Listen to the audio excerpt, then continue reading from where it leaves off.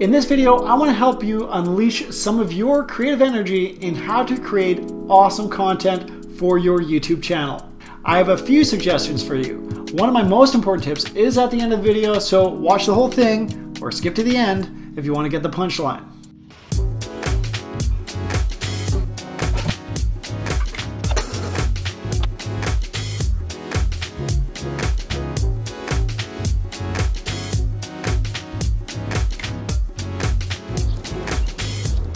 I am using this opportunity to grow my online presence on YouTube. How have I grown my YouTube subscribers and if I've done so organically?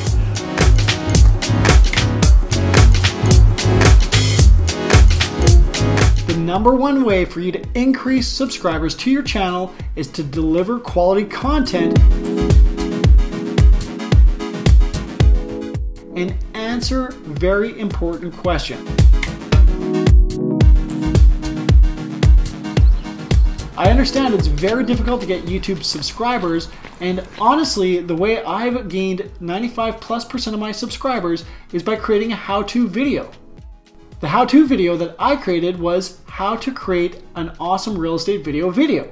And of course, through that video, many of you now watching were first introduced to my work.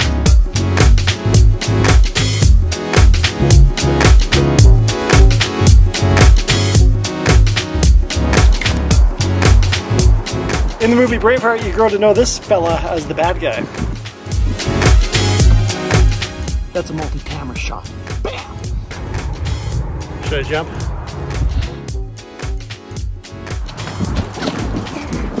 I've had quite a few people recently reach out to me as I believe what's happening right now is many people are looking more as a way for YouTube to monetize their business or perhaps they have more time to invest into building content in this pandemic time.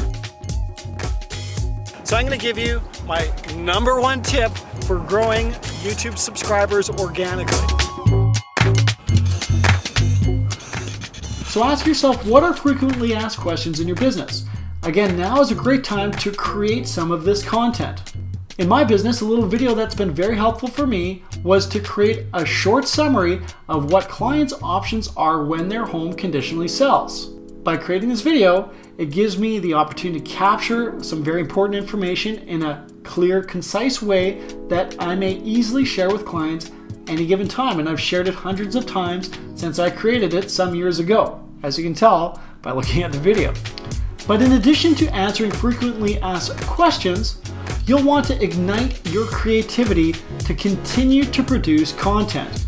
One of the best things about YouTube is that it is a creative platform that we may both consume and create. Now ask yourself though, are you more of a consumer or are you more of a creator? And I would challenge you now if you are watching this video to become more of a creator.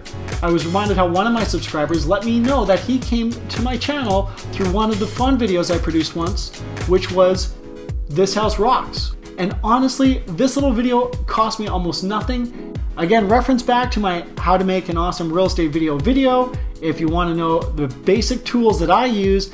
145 Coopers Park, this house rocks. And it really is still the same format I use to create my real estate videos. For myself, my creative energy and my creativity flows best when I am centered and grounded. And that is truly 100% my top tip for becoming more creative in what you do. One of my favorite quotes is by Seth Godin is real artists ship. So do not wait for perfection, simply capture to the best of your ability, create quality content, but ship it. I sure hope you found this information helpful. By all means, if you're watching on YouTube, click the thumbs up button. If you haven't already subscribed, please do. If you love this video, please share it. Many of you watching have seen the journey that I've been through on my channel here, and I thank you so much for coming back. Again, wherever you are in the world, thank you for watching, and thank you for watching. I guess if you're shy, you shouldn't do video. There's a little boy who's chasing a goose over here. It tends to be kind of dangerous. Here's a small thing you can do today to help small businesses that have needed to close because of the coronavirus. And it doesn't cost any money, just takes a little bit of time. And take a moment to either go on Facebook, make a recommendation on Google reviews, give a five star rating to businesses that you love and appreciate. We do live in a review society, and as much as this is not a monetary contributions, it is sowing the seeds for future business for these businesses which we love so much. Just in case my wife asks.